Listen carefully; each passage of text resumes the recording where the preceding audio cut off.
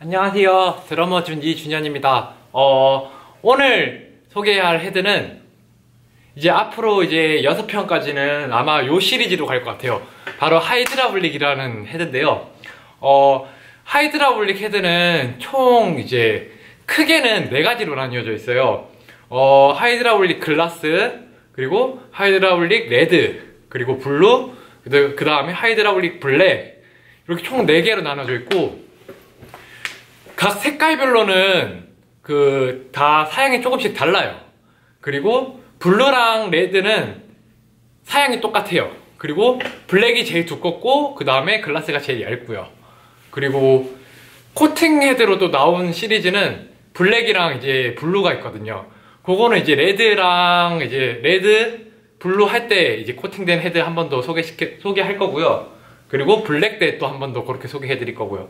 오늘 소개해 드릴 이제 Hydraulic 글라스는 Hydraulic 시리즈에서는 제일 얇은 피예요. 그래서 아유 죄송합니다. 너무 숨이 차가지고 Hydraulic 시리즈에서는 제일 얇은 피거든요. 이게 글라스는 6.5, 6.5, 6.5mm 그렇게 돼 있어요.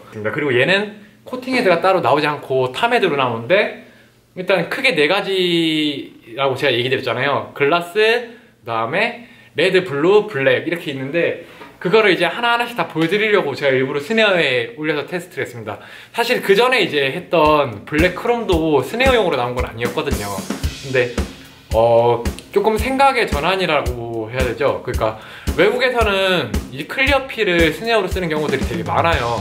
그거를 좀 알려드리고 싶어서 제가 일부러 스네어 전용 헤드가 아니지만은 그거를 따로 제가 이제 스네어로 장착해서 이제 보여드린 거고 일단 제가 지금 쓰는 스네어는 SQ1이라는 이제 소노에서 나온 스네어고요 그거를 이제 그 스네어 사운드를 이제 여태까지 제가 계속 올린 거를 좀 비교해 보시면서 톤을 좀 보시면은 조금 더 이제 예, 선택하시는데 좀 더 좋지 않을까라는 생각을 해봅니다 그러면 일단 한번 들어보실까요?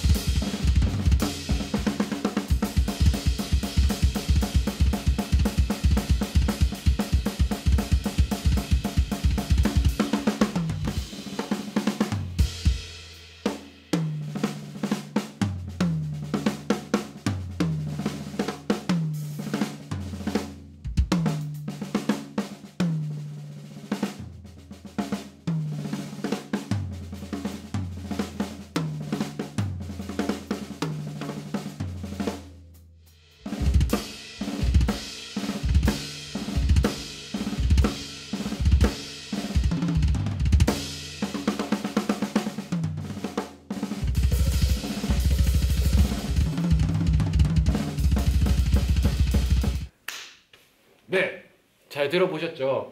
아까 제가 앞전에서 얘기했던 대로 조금 이제 파워풀하게 치거나 좀 떡떡 뭐 개인적으로는 Hydraulic 시리즈 중에서는 얘가 그나마 제일 개방적인 것 같습니다.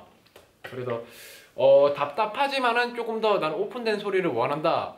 물론 이제 기본 스네어 성향도 있겠지만은 헤드로도 이제 그런 느낌의 뉘앙스나 그런 거를 좀 바꿀 수 있으니까는요. 그렇다면 이제 한번 Hydraulic 글라스를 써보시는 것도 나쁘진 않을 것 같습니다. 지금까지 에반스의 하이드라울릭 글라스였고요. 저는 드러머 준 이준현이었습니다. 감사합니다.